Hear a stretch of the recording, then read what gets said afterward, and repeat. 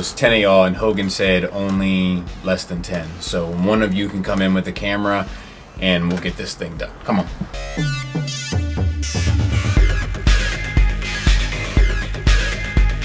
For your protection, not mine. And a little bit of mine. We'll put this around your face.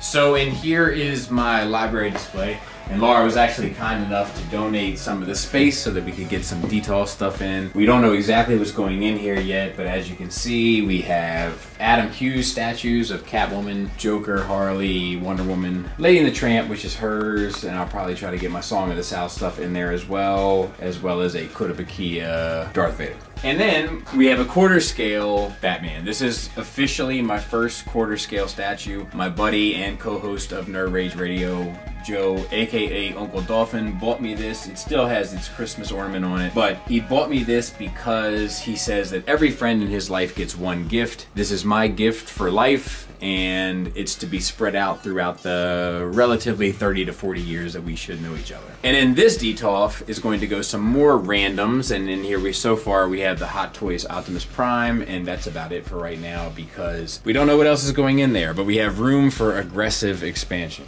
Here, we have my chess table. My dad bought me these chess pieces from Mexico. They were handmade, but don't worry, my kids have taken great care of them. The one takeaway from here is I do have a True Romance coaster that I got from my wife for Christmas. And real quick, and I don't mean to flex on you too hard, but before we leave this room, let me show you what else we can do in here. You like that? Pimpin'. And now we'll check out the office where the magic is made and where I keep some stuff. So in here I keep a ton of stuff. I keep various 1-6 scale statues and I just have this open space here where I'm going to put another detail for more 1-6 statues and kind of pieces. As of right now I have Adam Hughes Batman Superman, Gentle Giant Darth Maul, as well as a Adam Hughes Wonder Woman and the Bandai Voltron. On the bookcases I have across the tops of all of them Adam Hughes, Women of the DC Universe, NECA, Planet of the Apes figures. I have my IDW stuff here for right now. Uh, some X-Men stuff, Song of the South.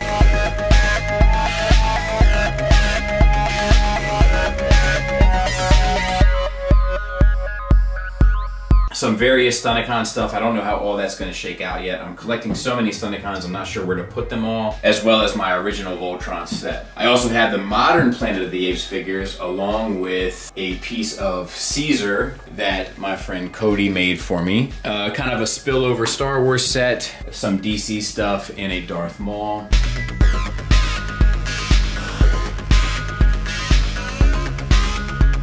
And then over here, I have an AT-AT, my quarter scale sideshow Star Wars stuff, and a shuttle Tydirium from the Kenner line or Hasbro 3 and 3 quarter.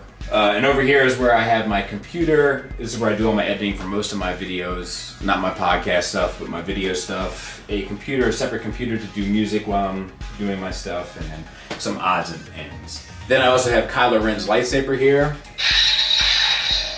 And I have an art piece of Kylo Ren that my buddy Tyler the Collector did for me that I plan on eventually hanging over top. And that's pretty much the office El Total. Also, we have our famously boxed wine, which I get from the pantry here. Please forgive all the mess. We're in quarantine times, so I want to make sure that nobody goes hungry while you guys are running around buying all sorts of toilet paper. Me, smart, Ritz. But now time for the sort of the real show. Come on in, we'll show you the basement. I still have my famous Impossible Toys Tetra shelf. Look, the truth is, is there haven't been that many better versions made in terms of alt mode, so I have them here. They get real dusty. At Skullfest, people tend to write their names in them in the dust, and that's that. I also have some sort of Menasor gifts that have been given to me here, as well as this gift of Jaina Solo that Marilyn Phil gave me, who is a part of Nerd Rage Radio. Now, as we move down the staircase, you'll see some albums that have left a very big impression on me and my wife. Just albums that we are very fond of. If you're a Patreon subscriber, tune into the Bobby Boogie Bop. We go over music once a month. First day of the month on a weekday. These are some tickets here that we've attended, some big shows. Then we'll go on down. Over here we have some artwork. I almost got put out of public school for this project. Adam and I were working on this comic book some years ago and I did a little piece. I made myself one, made him one. This was given to me as a gift from Steve. This was given to me as a gift from Cody and this is a letter that my grandmother wrote me to be donated to me once that she passed on to the next plane and we framed it and put it in the basement. Over here on this little Billy is just my mask stuff, uh, Mobile Armored Strike Command. All of these shells make it up and then I have some extra kind of spawn stuff down at the bottom. I have to keep this stuff relatively off the ground because my baby's a big fan of it. It has a tendency to lose the masks, of which she's already lost two. But this is the price of having children sometimes. It comes with the territory. Of course, we have the covert action teams up top, as well as more lightsaber action hung around. I got this idea from JD. Shout out to JD. He put me on to this idea of hanging them hung vertically. They take up far less space. I have a Halloween party every year. This was a Captain America shield worn by Claude during a Halloween party. And in here now is where I keep all my CDs. They give me a hard time for still keeping physical media, but what are you gonna do? They're all organized by genre and alphabetically. Here is where my Maja case is going to go. I've ordered a Maja case. I'm just waiting for it all to come in. It's, uh, it's, a, it's a big to-do to get one. So I've ordered one. It's going to go here. It's going to house my quarter scale collection, which is going to be my grand finale. And that's that. When that's done, that's done. And it goes in right here in this section. I have this freestanding light shelf that I'm not sure what I'm going to do with yet. Holding a few of some odds and ends that likewise I'm not sure what I'm going to do with yet. But some SH Figuarts Mario Brothers stuff and my one of my most prized possessions, my uh, Brofest ticket. I can only use it once and I believe it expires this year. And with the Corona, it's going to make it quite challenging in order to get it done, but I'm going to do my best. Over top here I have this Star Wars mural. It's a long story and I've told it on various platforms, but I got it at Celebration 2019. I wasn't supposed to be able to get it. There was some beef between the artist and Amazon and Disney and blah blah blah. It is beautiful. It tells the whole story from the prequels through, from episode 1 through episode 9 and everywhere in between. I have it right now just held up with push pins, but I'm it's laminated. I'm going to eventually create a frame for it out of styrofoam because I can't find a frame place that'll actually frame it. I'm gonna create a frame out of styrofoam and put it around it so that it actually looks nice. Now over here, I also have some more odds and ends that I'm not 100% sure what I'm gonna do with yet, but I have my three and three quarter Joes, my three and three quarter Cobras, some He-Man villains, He-Man heroes, and then some random three and three quarter stuff. This is really my modern collection of Misfit toys because I just don't know exactly what's going on with this stuff yet until I have everything kind of sorted. This is one of my new added things. One of the things I've learned along this journey is that I want my house to feel like a house. I want it to feel like a living space and then you can kind of take this stuff in. I don't want it to feel like a museum. So we've added these small skinny Bestas. I have my turtles in here now. I'm not sure if that's going to be their final resting place. And then I have my quarter scale NECA along the top. This is a set of six that we've secured in the back and I think it's done a good enough job. A couple little things along the top here to kind of keep interest and keep it moving.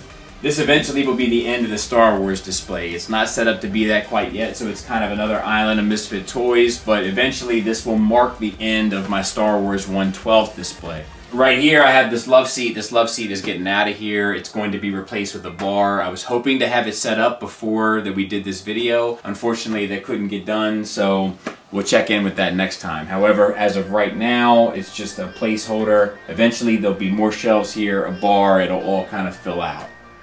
Another vertical lightsaber. Now here is my mostly 112 scale collection. And this is split up between evil and good, for lack of a better term, 112 scale figures with the Hot Toys sitting in the middle.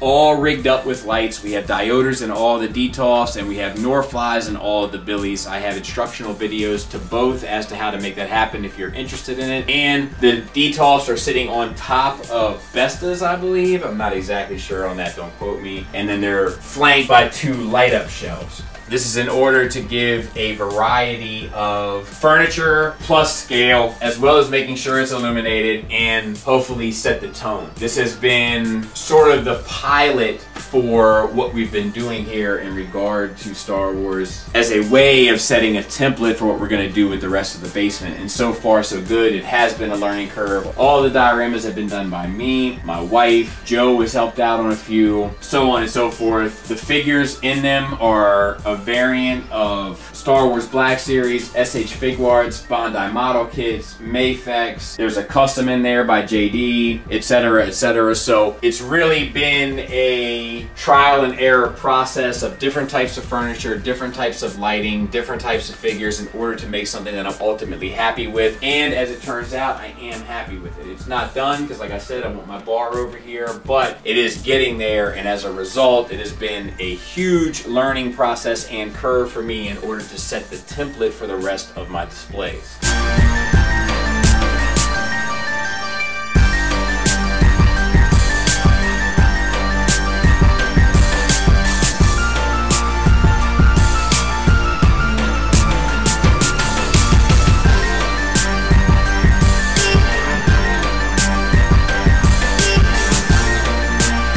Over here, I've donated this extra space I had left over to some Star Wars artwork that I have. This is a R2-D2 that my daughter made for me for Father's Day one year. This is a portrait of Han Solo that Lee underscore Akins underscore tattoos left for me, or gave to me as a gift rather. And then another one with the skull and the Death Star and the Empire kind of motif that my buddy Cody did for me. His Instagram is at Cody Art, K-O-D-E-A-R-T. Cody does a lot of art for me. I'm gonna run out of wall space. And then right here I have these two coffee tables and they are terrariums, I guess, for lack of a better term. I have two dios in each, one of Jabba's Palace and one of the Cantina Bar in order to kind of display the three and three quarter figures as a homage to the three and three quarter line, as well as offering something different. People can put their drinks on it, but they, they put their feet up on it, which is cool. It just adds to the element of the living space with this stuff inside of your living space. Up here I have my sail barge with a couple skiffs on the side and it kind of sets off the whole thing. I like this idea of this Hasbro Pulse stuff really kind of being an accent piece. It's crazy that Hasbro is making accent pieces but it, it does do its job. And then along the tops here I have some three and three quarter stuff on both sides to kind of flank it to sort of tie it all in. This is another set of six Bestas that I've used just to be a platform to kind of display more stuff. Inside, I'm kind of storing Hot Toys boxes at the moment. I'm getting another couch like this on this side so that it'll be kind of even and then I have some more quarter scale NECA stuff with some uh, special stands that I bought as well as Enfys Nest sitting within the middle. Over here is my last shelf, and like I said, this stuff kind of ties into the Turtle stuff and everything else. I'm not exactly sure where everything is going to shake out, but right now I have Mortal Kombat stuff in there, and I'm not sure what else, because I'm just not sure how it's going to shake out, and I want to have a little bit of flexibility in case something really jumps off and I need the extra space. So as of right now, this is what it's going to be. I'm kind of happy with it. I am going to light it eventually, but as of right now, it's just sort of a placeholder so that I know that the area is available.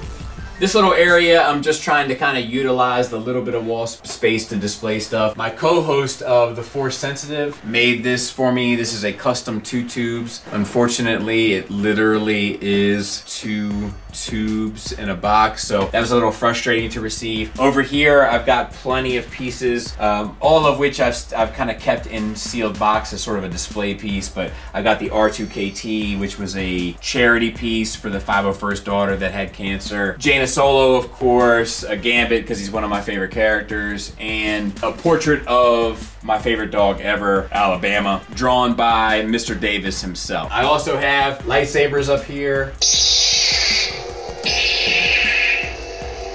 Once again, just to try to take control of as much available space as possible. So if you've been watching my Cribs videos in the past, I've had a big Warhammer table here. Uh, my wife and I took a crowbar and a hammer to it and we got rid of that thing and I can't express how much it was the best decision we ever made. In its place, we've put this terrarium where we've made a diorama. We've had a little bit of a display space in order to show off the more highly painted pieces between the three armies that we had, Blood Angels, Orcs, and Tyranids. And now it sits in a case. It's good to see. It's part of the living space. You can take a look at it if you want. There's little Easter eggs throughout the diorama that you can appreciate it if you know what it's about. And you can kind of take it all in and appreciate it, whereas before it was sort of um, in the way and more of a focal point of a collection that's not really focused on this material. Now we enter kind of my Marvel area, which is a split up between Marvel Legends at a 112 scale and Hot Toys at a 1/6 scale. I plan on doing dioramas for all of these shells. Right now I only have the X-Men Blue Team done. The Marvel Legends line has been something that I've been following for a while now, and I've seen it, you know, the, the ups and downs of it all, but I'm fairly happy with where it's going, and I'm fairly happy with where the collection has led to, so I'm ultimately looking forward to kind of completing dioramas for them all and having them look really official. Once again, they're on two Billies plus a light up stand split up with the Detolf in the center, the Detolf displaying characters from the films from the Marvel Cinematic Universe. All of them lit up with dioders and Norflies. Unfortunately, of these shelves, there's only one that's finished and that is the Iron Man shelf. However, I have plans for all of them to be filled out and I don't plan on going much further beyond that. That is unless the Marvel Cinematic Universe really kicks into high gear with the X-Men.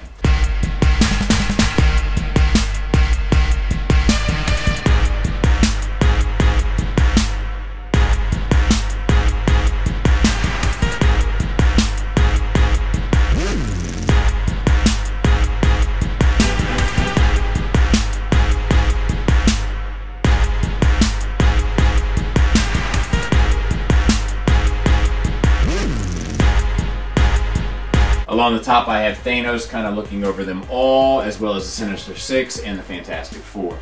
So if you've been following anything throughout my Four Dummies experiences or some of my gripes on Shattercast or Nerd Rage in regards to displaying Transformers, I'm at a point where I'm finally getting a grip on it. And the answer has been four Billies with diodes or dioramas with Northfly lighting systems.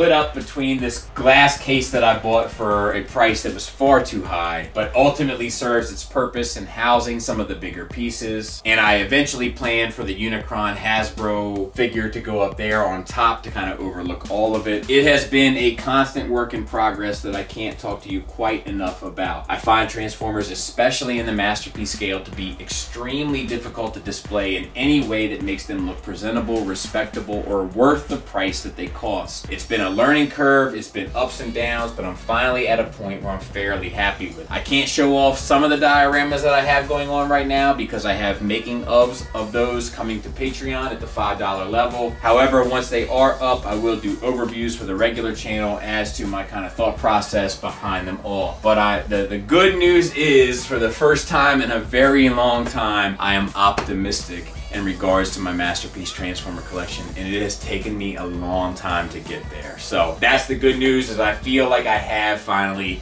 cracked the code. And then lastly for this room, along the top on the floating shelves, the open floor plan if you will, I have my G1 collection. Now 99% of these are my actual G1s that I played with as a kid. There was a point in time where I tried to go back and buy some ones I was missing or buy some ones that I never had, but the truth is, is it never really spoke to me in the same manner that the ones that I actually played with in the sandbox, in the dirt ever meant to me. So as a result, I just kept the ones that I have and I'm kind of happy with what I have and in that regard, I'm cool with it. The nice thing is along the top here, you actually do get a chance to kind of take them in and see them and pay attention to them and give them a little bit of respect. And I have to give all credit of that to my wife because it was her idea to put them up top. Now bathrooms, mainly for doing your business. However, they're not just for pooping anymore. So if you come in for a second, you'll see that I've even taken advantage of this space. For one, we have Lionel Richie up here. That's the standard. I'm still looking for an 8x10 of Michael Jackson and E.T. to say goodbye. But in this house, Lionel Richie will never say goodbye because he only says hello. I do have some of my artwork displayed in here. I'm not a big advocate of displaying your own artwork. However, if you are going to do so, my recommendation would be to do as I have done, and that is put it in the bathroom. I also put a couple figures in here, some Wetworks stuff from McFarlane. I love the Wetworks comic and it never really took off, so I put those in here as well as some Witchblade and Darkness stuff in order to kind of just put some stuff in here because I had the floating shelves already set up. The good news is if you're ever here and happen to be doing your business, we've put in this thing here so if you want you can pull off a little bit of reading material, have a look at some Jim Lee artwork or Marc Silvestri, Michael Turner, rest in peace, who did actually sign this book for me when I met him in Philadelphia and he signed that book out to me. So he was a gentleman and we have this in here in case you want to take a look at it while you're doing your business. And lastly, the notorious, made famous via Robert Diethoff, the tub. Now, it's not as terrible as they say. There are some paint stains and such. This is where I wash out a lot of my diorama brushes. My trash can is in here at the moment. I have some lacquer thinner in there, which is probably, I don't know if it's the best idea or not, but it, it's in there right now. It is capped up and secure, so don't worry about it. But this is the bathtub that's often joked about. This is what they break my balls about on Four Dummies. Now in here is the workroom. This is where we do diorama stuff. It's not the prettiest, it's a workshop. I have various paints and stuff set up here. As you can see, I haven't been too tidy. I keep tons of materials and stuff up here. This is where I do a lot of my airbrushing and I have all sorts of stuff. It's in general, it's in general disarray right now, but don't worry about it. I'll get it up and running to a point where it's comfortable, but right now we just finished the dio of Crait for the Last Jedi shelf. After a couple dios, we tend to kind of tidy it up and put it back in order. As of right now, it's in general disarray. The Nerd Rage room is welcomed by Sub-Zero, which was a piece that my buddy Gort got for me. Once again, co-host of Force Sensitive. And in here is where the Nerd Rage podcast go down. This is Chris's seat. He has this doily a lot of you have asked because of a Halloween party story, which you can listen to Nerd Rage for the full details of. This is where Joe sits. I sit here, and then at any given time, various other people sit in here. When Laura and I do wine and cheese on Patreon, she sits here as well, as well as Bobby Boogie Bop. It's also where Sit Down Saturday goes down. So we'll start and we'll go around the room. This is my Star Wars overflow area. Right now, it's just holding Star Wars 1-6 figures. I'm not sure exactly what's going to happen with all of them. They're just filling up boxes until I have what I know I'm going to have in order to sort of distribute them throughout the house. Up top, I have some various books as well as the McQuarrie art and a lightsaber and some little odds and ends. Over here is my Star Wars shelf. This is all Star Wars stuff. This is the picture that Carrie Fisher signed for me that I've talked about in many videos. So that's that's that. Comics, they're all in chronological order. So they're not in alphabetical order or in size order. But if you want to start at the beginning and read to the end, you can. And you can do it from my library, which is complete and in order, as well as some odds and ends throughout. Over here is sort of a Marvel overflow with some odds and I got Wolverine sitting here. This is uh, a KO third party-esque Wolverine sitting here.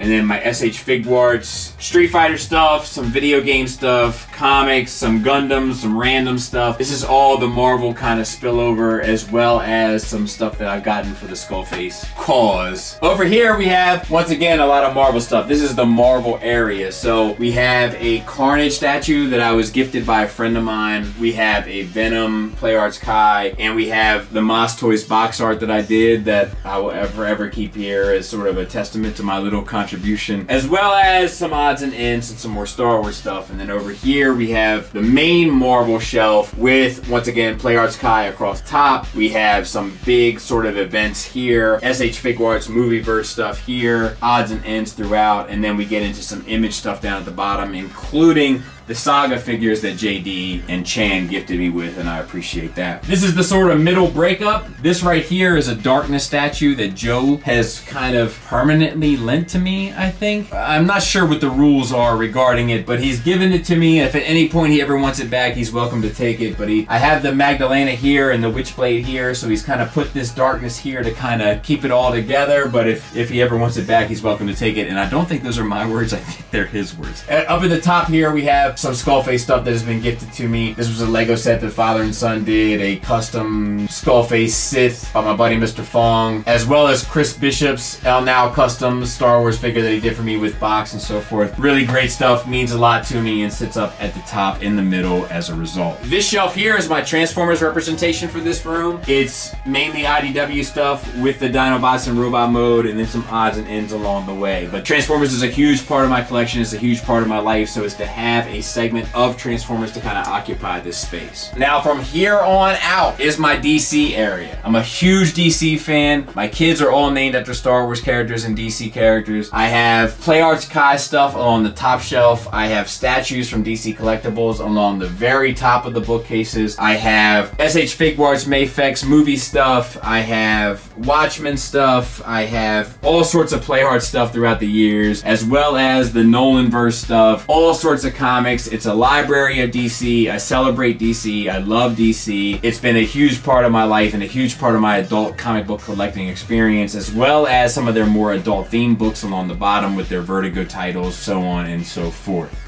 Then we get to this Detolf area, which is DC Detolfs. Very sparse at the moment, but as of right now, I'm not sure exactly how I'm going to allocate it all. And then at the top, I have a statue of the Motor City Selina Kyle Catwoman, as well as a one-fifth statue of Evil-Lyn, which, as most of you know, played a big part in my, my childhood. And then behind that is that, D that Women of the DC's universe that I spoke about in a recent sit-down Saturday so that you guys can know about that as well. And then my last set of Detolfs are all the DC stuff. Once again, I don't know exactly how it's all going to shake out in terms of distribution, but we have Nolanverse stuff, we have DC Universe stuff. For the most part, it's just a variant of different movie stuff, and it's all DC related. And then at the top, we have the quarter scale TMNT Ninja Turtle set, which is one of my favorite sets, period. It looks great up there. People often comment on it like it's a showstopper of sorts. Now this is almost my Robert Detolf shelf. A lot of this stuff is stuff that Robert Detolf has bought me that I don't want and don't care for, but it's Star Wars related, so I keep it. We have this Darth Vader, the top comes off. Yeah, it's a cookie jar, I guess. And some of the stuff, like Tyler F has contributed to some of this stuff. Like, a lot of this stuff is, again, I think Randy gave me this. Like, a lot of this stuff is kind of odds and ends Star Wars stuff that people have gifted me over the years. And because I love Star Wars and because I love these people, I've kind of kept it in one singular space. So a lot of this stuff was given to me as a gift. Back here is where all the reviews are done. I have my brushes out because I've been dusting, but all the reviews are done here, and then this is kind of my setup space. Music is often played. My wife got me this Bose thing as well that I can play, so music is often part of what's going on in here. I have this little fridge here. Let's take a look at what's inside it. Some Diet Mountain Dews, some beer, some vitamin water, some root beer. This is just a sign of all the people from Nerd Rage that come over, put their drinks in here, and then sort of use them as they want them, which they're more than welcome to do so. And this drawer is where, like, well, this set of drawers rather is where all my tools are. So spudgers, screwdrivers, etc., etc., for the sake of reviewing, as well as the world's famous Tiger Track. He's in there as well, in the top shelf should I ever need him. This board here is where I keep notes and stuff for when I'm doing a review. I'll keep certain notes as to what I want to mention, make sure I don't forget. On the side here is people that have come to Skullfest or different parties at my house and kind of left their mark, and now I can't erase it, so I'm limited in the amount of space I had to write, but I guess it's ultimately worth it. And then along the top here, I have all of the 40th anniversary New Hope Black Series figures carded kind of on display up here. I don't know what they did, but it was perfect because it fits those cards just about perfectly. Up here is some art that has been contributed to me. This is from Mr. Davis, this is from Mr. Fong, and that's from Mr. Jisk. Various Skullface artwork that I've got framed and hung over to sort of appreciate what they've done, and I'm very grateful. Now, we're getting ready to go to a room that we've never officially unveiled, so come with me. This is the last room that we had to finish, and it is now officially finished. This is the movie room. Let's have a look. That down there is a huge oversized pillow for the room that my wife insisted that we get because she doesn't understand the amount of space that a piece of furniture actually takes up in a room logistically and she thought that it'd be great for the space so we have that here now which definitely prevents the amount of fun that you can have on the floor. Up here we have two different layers. My wife and I usually sit here when we watch movies and then the kids sit back here on these three. Also they kind of serve as skull fest beds when we have people over. And then at the back here we have a DVD section of physical hard copy DVDs that if the internet should ever go down, which isn't so much a laughing matter now anymore, is it? I'll be the one who's laughing. The room is surrounded by posters of our favorite films. It's not completely done yet, which is a bummer and somehow keeps getting lost in the sauce because we just keep forgetting about it, but we have True Romance, we have the Apes movies, we have Empire Strikes Back, Bram Stoker's Dracula, and Transformers the movie. As well as, of course, the Nolanverse Batman. I'm not a huge gamer, but we do have some gaming system stuff along with some games. This is where the Blu-rays are kept in these cabinets here. Just the important stuff. Screen TV, I don't know what the size is. It's big enough, I guess. And then we have the three and three quarters on these shelves. It used to house CDs on the sides, and it does look nice. It was a nice answer to that problem of solving in regards to the three and three quarter collection. So this is that in a nutshell. That's how everything is kind of sorted out. This is the movie room as we have it now now. But there is one more small room I need to show you. So if you listen to Nerd Rage, you'll know that we often talk about Joe's house. Joe has his own little house inside of my house where Uncle Dolphin can take a break or take a sleep or take a nap, whatever he shall need. And we keep it in here. And, oh, he's in there right now. You need to give him stuffed animal before he gets. Just throw him in there.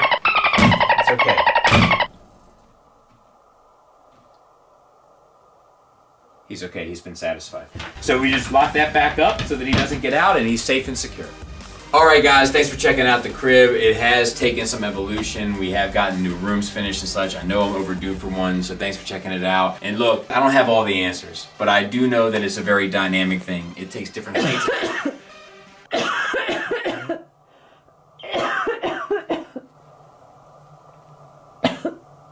Are you kidding? Wrap that bandana around your head a little tighter and get the out of my house right now, immediately. Go, go, go, go, go, go, go, go, go.